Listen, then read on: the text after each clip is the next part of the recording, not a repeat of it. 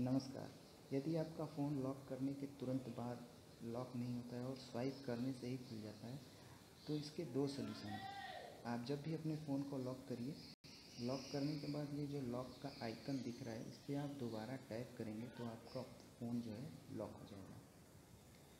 अगर आप इसको पूरी तरह से बंद करना चाहते हैं तो आप सेटिंग में जाइए। सेटिंग में जाने के बाद आप लॉक स्क्रीन पे टैप करिए। इसके बाद आप स्मार्ट लॉक का जो ऑप्शन है, उस पर टाइप करिए। पैटर्न ड्रॉ ड्रॉ करिए।